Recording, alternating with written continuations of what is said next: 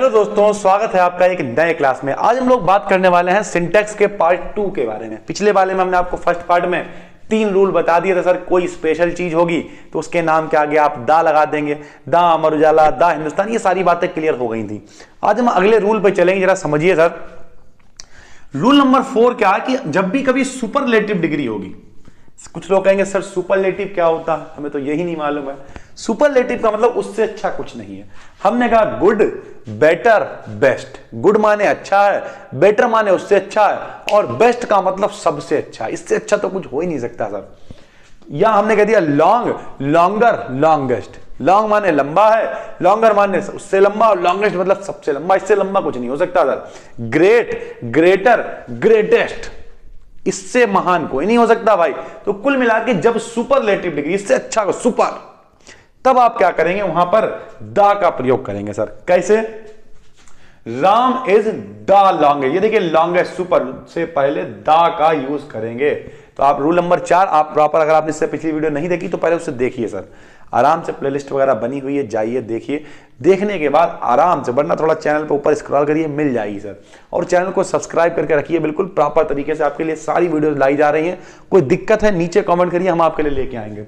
तो superlative degree में क्या? लॉन्गेस्ट तो इससे पहले हम लोग दा यूज़ कर लेंगे। Ram is the longest boy in the class यानी राम क्लास में सबसे लंबा लड़का है।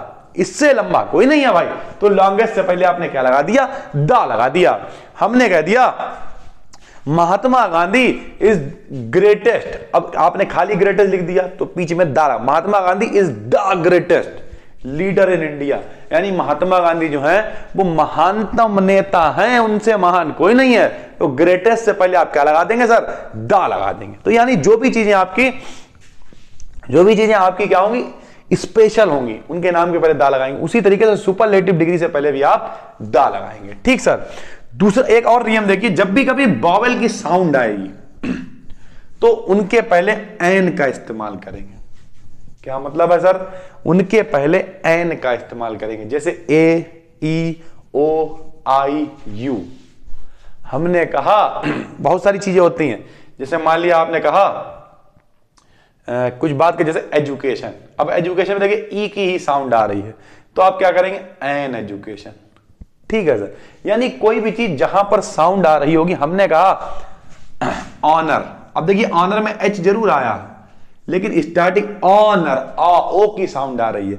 तो जहाँ पर साउंड आएगी बॉबल की, वहाँ पे एन का इस्तेमाल करेंगे। बाकी सबसे पहले ए का इस्तेमाल करेंगे। तो अगर कहीं ए या एन का इस्तेमाल हो रहा है तो सर आप देखेंगे कि कहीं वहाँ पे ए ई आई ओ यू की साउंड तो नहीं आ रही है। आ रही है तो फिर आप एन कर देंगे, वरना आप क्या लगा रहने देंगे? ए लगा रहने देंगे। ठीक है सर? उसके बाद एक रूल है देख लीजिए, इस तरीके का रूल काफ़ी important one must do his duty बिल्कुल गलत है sir one must do his duty one के साथ हमेशा वंश वंश का प्रयोग करेंगे सर तो यहाँ पे अगर ऐसे कुछ लिख दिया one must do his duty समझ लेना सर गलत है ये. सही क्या होगा?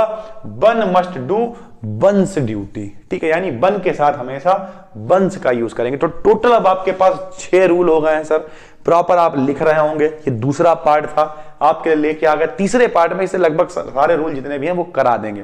फिर कोई दिक्कत नहीं, आपने रूल पढ़ लिए सेंटेंस देखा, बनाया थोड़ी सी प्रैक्टिस कर ली, नहीं हो रहा है, सर नीचे कमेंट कर दिया, सर ये वाला में नहीं मिल रहा है। और डिटेल जुड़ना चाहते हैं एप्लीकेशन पे गए कोर्स में इनरोल कर लिया, आपको व्हाट्सएप सपोर्ट मिल गई चैट सपोर्ट मिल गई, आराम से हमसे वन टू वन बात कर रहा फिर भी नहीं, नीचे कॉमेंट कर दिया, कोई दिक्कत नहीं, सर। हल करने की कोशिश करेंगे। बस दोस्तों, आज की वीडियो में इतना ही। मिलते हैं नेक्स्ट पार्ट में। पार्ट थ्री के साथ, कुछ और नए रूल्स के साथ, तब तक के लिए धन्यवाद।